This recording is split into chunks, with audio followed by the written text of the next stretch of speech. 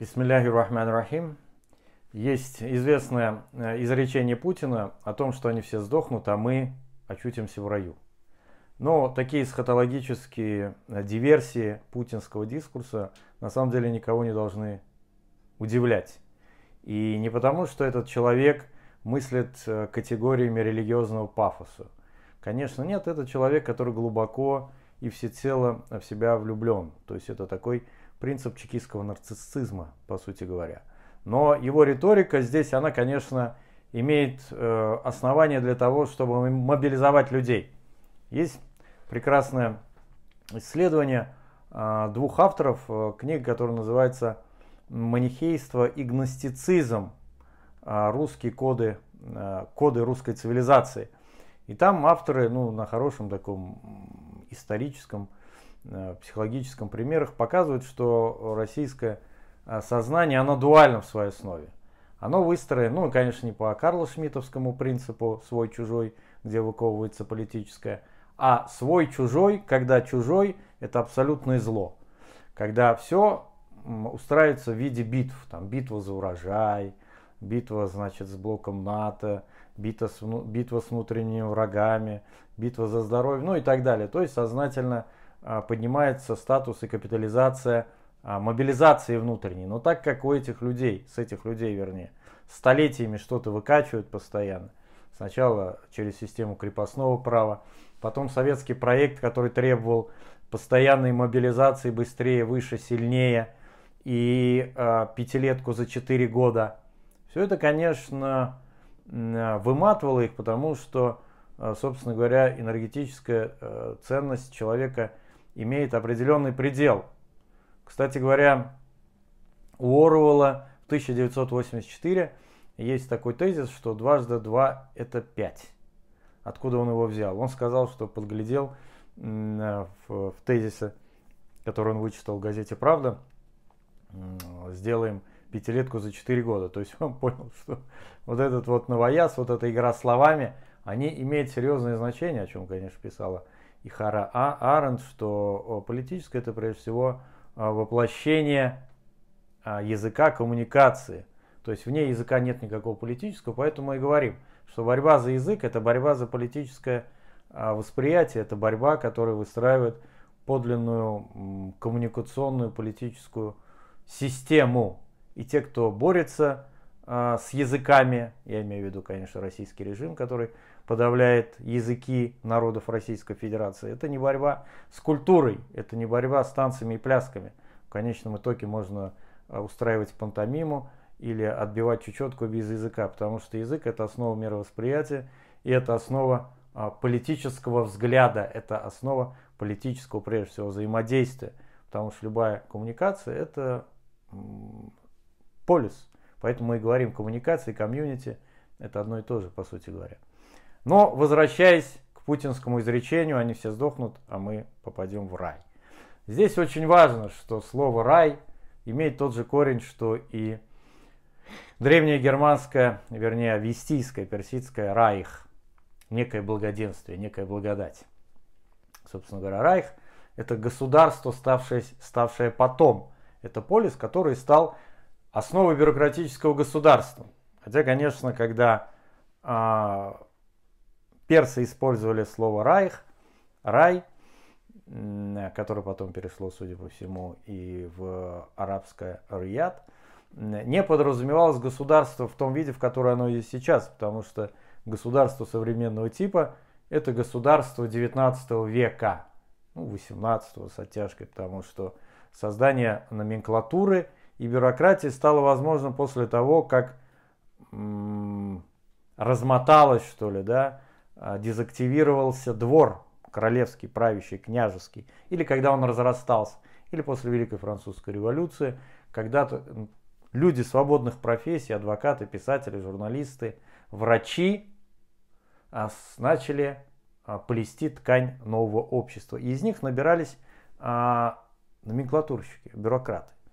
В то время там, как классический феодальный строй государства, это был двор, приближенные, родственники, вассалы. Поэтому современное государство ничего не имеет общего с э, государством даже 200-летней давности. Но путинское желание рая – это не желание эсхатологическое. Я не думаю, что Путин верит искренне в Бога. Он верит в себя, он верит в свои деньги. Он верит в свою номенклатуру, которая, как он считает, выстроена по идеальному прусскому образцу, что, конечно, таковым не является.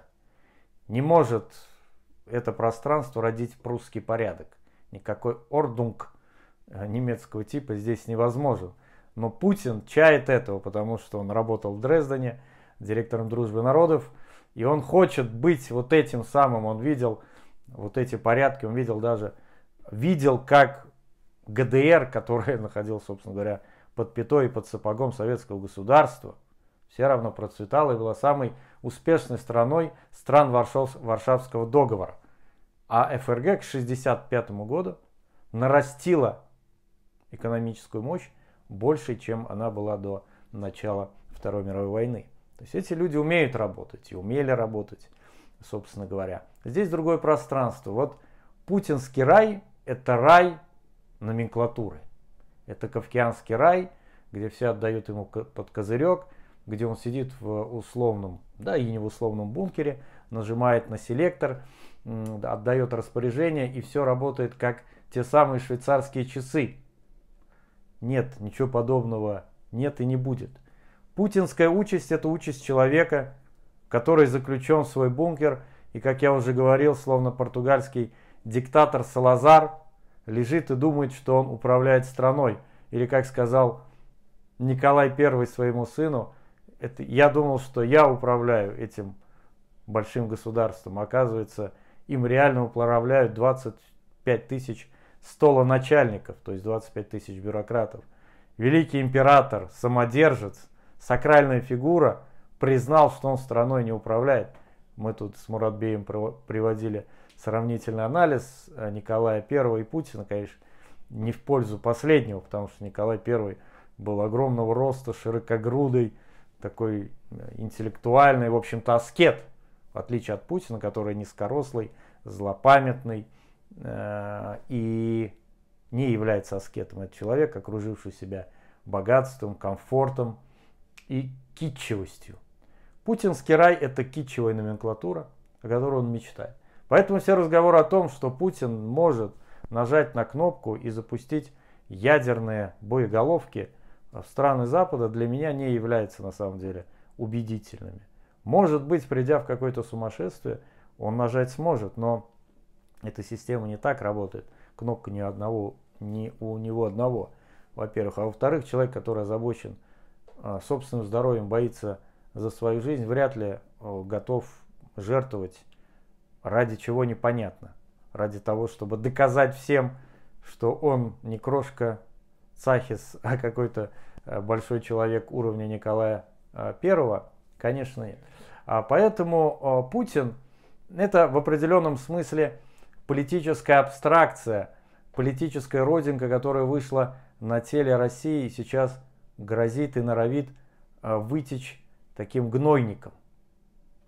Неприятный момент, но Всегда Российская Федерация и до этого Российская империя, она жила вот этими вот, этими вот родинками, вот этими отметинами, которые приходили и исчезали, принося много крови, будь то Сталин, будь то Путин, будь то всякие императоры. Но Путин наследует эту линию по нисходящей. До этого были крупные фигуры. Путин это мельчает и в, и в физическом, и в моральном, и в политическом смыслах. Поэтому Путин это последний всхлип этого пространства, как пространства тирании. я верю, я понимаю, я более чем убежден, что после ухода Путина это пространство будет переформатироваться, перестраиваться на новых, на новых основаниях, как справедливое общество, как конфедерация народов Российской Федерации, которые учреждали эту страну. А, а Москва является лишь одной из субъектов этого, этой федерации. Это вообще очень странная а, конфигурация, при котором а, федерация, федерации есть какой-то главный субъект в виде Москвы, который распределяет и командует всеми. Это не федерация, это гибрид. Путинская система гибридная. Она что-то берет от Советского Союза, что-то от Российской империи, что-то от идеологии КНДР Чучхе, там национализм там, и так далее, все остальное, и являет э, э, миру как некий эксклюзивный путинский проект. И сейчас этот проект эксклюзивный, он исчерпывается. Бункерная политика оказалась тем самым коллапсом, а, к которому она и должна была прийти по логике вещей. К сожалению, эти люди не учат историю, к сожалению, эти люди не понимают логики, хотя, конечно, им бы следовало почитать э, того же Гегеля, если уж они так серьезно э, поклоняются германско-прусской модели. Но эти э, пожелания так и останутся пожеланиями в пустоту, а мы должны, конечно, смотреть и рассчитывать, что будет в будущем, потому что Путин, как субъект политический, уже закончился, и самое время нам думать и строить будущее.